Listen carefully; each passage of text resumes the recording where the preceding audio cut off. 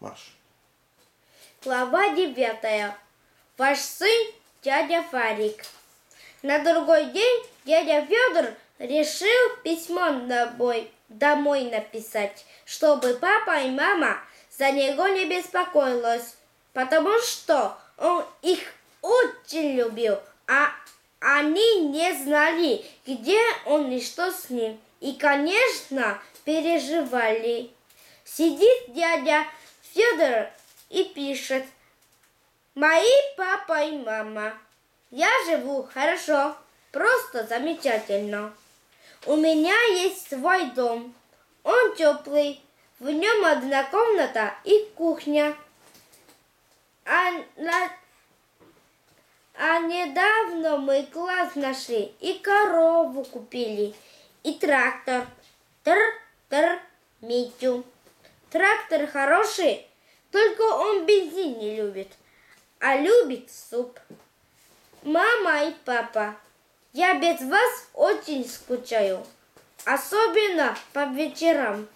Но я вам не скажу, где я живу, а то вы меня заберете, а Матр... Матроскин и Шарик пропадут. Но тут дядя Федор увидел, что деревенские ребята – Змея в поле запускают. И дядя Федор к ним побежал, а коту велел письмо дописывать за него. Кот взял карандаш и начал писать. А еще у нас печка есть теплая. Я так люблю за ней отдыхать. Здоровье, здоровье-то у меня не очень. То лапы ломит, то хвост отваливается. Потому что, дорогие мой папа и мама, жизнь у меня была сложная, полная лишней и выгоняний. Но сейчас все по-другому. И колбаса у меня есть, и молоко парное. Стоит в мисочке на полу. Пей не хочу. Мне мышей даже не видеть не хочется. Я их просто так ловлю для развлечения. Или на удочку, или пылесосом из норок вытаскиваю и в поле уношу.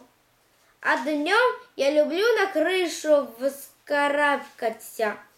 И там глаза вы, выта, вытаращу усы расправлю, расправ, расправлю и загоро, загораю, как ненормальный. На солнышке облизыв, облизываюсь и сохну.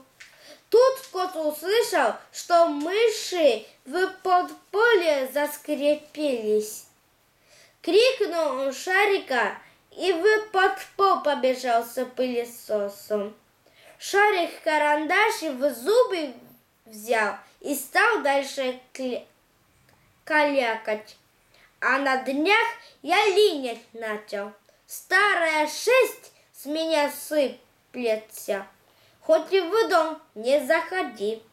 Зато новая растет, чистая, шелковистая просто карау, кар, кара, каракуль.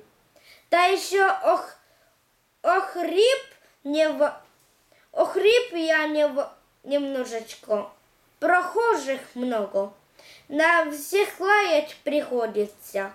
Час полежь, два полежь, а потом у меня не лай, а свист какой-то получается с бульками. Дорогие папа и мама, вы меня теперь просто не узнаете. Хвост у меня крючком, уши торчком.